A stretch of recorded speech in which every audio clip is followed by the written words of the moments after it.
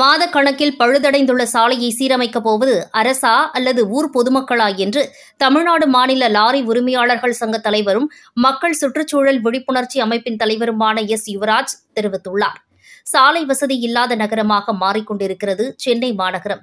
வளர்ச்சிக்கான எந்தவொரு முகாந்திரமும் இல்லை என்று தமிழ்நாடு மாநில லாரி உரிமையாளர்கள் கூட்டமைப்பின் தலைவரும் மக்கள் சுற்றுச்சூழல் மற்றும் விழிப்புணர்ச்சி அமைப்பின் தலைவருமான எஸ் யுவராஜ் அவர்கள் தெரிவித்துள்ளார்.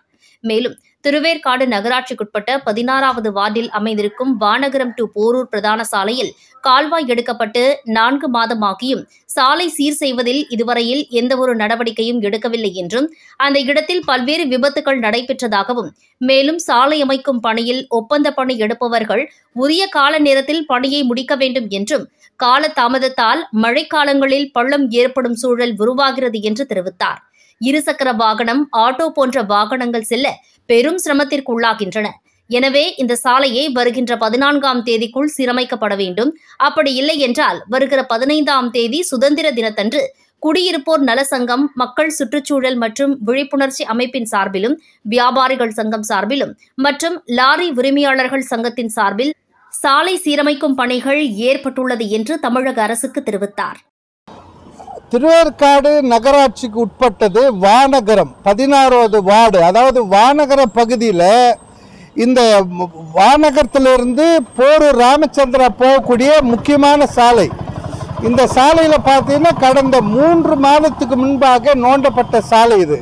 இந்த சாலை வந்து சரி மழை இருக்குது மழைனால போடலன்னு நாங்கள் ஒரு மாதம் வெயிட் பண்ணோம். அதுக்கப்புறம் இப்போ இரண்டு மாத காலமாக இந்த சாலையில் எந்த வேலையும் நடக்கலை. மூடில் பள்ளம் பள்ளமாக இருக்குது மக்கள் தினமும் உயிர் இழக்கிறாங்க அதாவது அடிபடுறாங்க. மக்கள் வந்து தினமும் வந்து அந்த சிராய்ப்பு பைக்லேருந்து விழுந்துடுறாங்க. இது முக்கியமான சாலை. வாரத்தில் இரண்டு மூன்று நாட்களில் இந்த பக்கம் ஆயிரக்கணக்கான டூ வீலர்ஸ் போகுது. மீன் மார்க்கெட்டு போகுது. இந்த சாலை இவ்வளோ மோசமான நிலையில் இருக்குது அதாவது சாலை வந்து போடுற திட்டத்தையே நான் மாற்றணும்னு சொல்கிறேன் எப்படின்னா ஒரு சாலை போடுவதென்றால் அவ ஒரு நாளைக்கு எவ்வளோ சாலை நோண்ட முடியும்?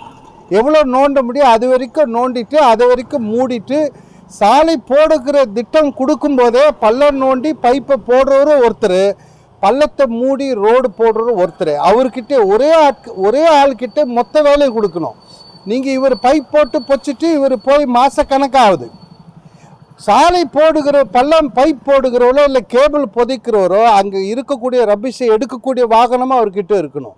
அதே மாதிரி எட்டாந்து மண்ணு கொட்டி லெவல் பண்ணுற வாகனமும் இருக்கணும். சாலை போடக்கூடிய தகுதியும் அவருக்கு இருக்க வேண்டும். அப்படி இருக்கிறக்கிட்ட தான் இந்த சாலைகளே பைப் புதைக்கிறது கேபிள் போடுற ஒர்க்கை கொடுக்கணும் மெட்ரோ வெட்கலாம் இது வந்து ஆண்டாண்டு காலமாக இப்படியே இவர் பள்ளம் நோண்டி விட்டுட்டு போயிடுறார். இப்போ அவர் ஒரு நாளைக்கு எவ்வளோ சாலை போட முடியும்? ஒரு ஒரு நூறு மீட்டர் வேலை செய்ய முடியுமா? நூறு மீட்டர் அன்று இரவு நோண்டி அந்த பைப்பை புதைச்சி அன்றைக்கே மூடி அன்றைக்கே சாலை போட்டுடணும். அப்படி இருக்க திருப்பி மறுநாள் வந்து திருப்பி எவ்வளோ சாலை ஒரு நாளைக்கு இவரால் போட முடியும்? எவ்வளோ பைப்பு புதைக்க முடியும்? எவ்வளோ கேபிள் இவரால் போட முடியுமோ அது வரைக்கும் தான் செய்யணும்.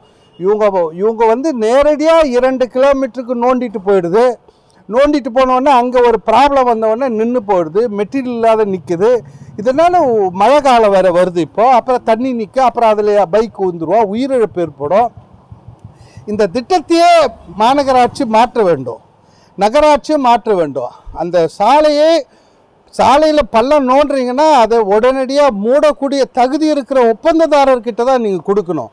இரண்டு மாத காலமாக இந்த பதினாறாவது வார்டு திருவாரூர்காடு நகராட்சியில் இந்த மாதிரி நிலையில் இருக்குது ஆயிரக்கணக்கான மக்கள் கூட போகக்கூடிய பகுதியில் தினமும் டூ வீலரில் போகிறவங்க நடந்து போகிற வயசானவங்க இதனால் ச வாகனங்கள் விபத்து ஏற்படுது. அவன் பிரேக் அடிக்கிறான் இடிச்சுக்கிறான் இது இல்லாத இந்த ஊரில் பார்த்தீங்கன்னா வடிகால் போட்டிருக்காங்க. வடிகாலுடைய வட்டைகள் வந்து எல்லாமே ஓப்பனாக இருக்குது பள்ளம் பள்ளமாக இருக்குது இதே மூணாவது தெருவில் பார்த்தீங்கன்னா போன மழை வெள்ளம் வந்து பாருங்கள் ஒரு ஆறு மாதத்துக்கு முன்னாடி.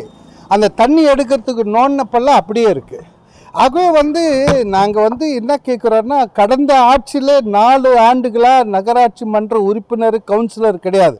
ஆனால் கமிஷனர் போன்றவங்க இந்த நகர் எடுத்து க- வேலையை செஞ்சுட்டு இருந்தாங்க. கடந்த இரண்டு ஆண்டு காலமாக எங்களுக்கு இந்த மாதிரி சாலையில் இது பாருங்கள் மெயின் ரோட்லேயே குப்பை இருக்குது இது ஒரு மெயின் ரோடு இது. அதாவது வானகரமும் போரூர் ராமச்சந்திரா போகக்கூடிய முக்கிய சாலை சாலையிலே குப்பை வச்சு பண்ணிகிட்ருக்கிறாங்க இதெல்லாம் வந்து சரி பண்ணணுன்றது தான் எங்களுடைய கோரிக்கை. வருகிற பதினாலாம் தேதிக்குள்ளே சுதந்திர தினக்கு முன்னால் இந்த சாலைகளை செப்பனிட வேண்டும். நகராட்சி கமிஷனரு கார்ப்பரேஷன் அப்படி செய்யவில்லை என்றால் பதினஞ்சாம் தேதி சுதந்திர தினம் அன்று மாலை பொதுமக்கள் குடியிருப்போர் நல சங்கம் வியாபாரி சங்கம் லாரி உருமா சங்கம் நாங்களே இந்த சாலையை செப்பனிடும் பணியில் ஈடுபடுவோம் என்பதை தெளிவுபடுத்திக் கொள்கிறோம்.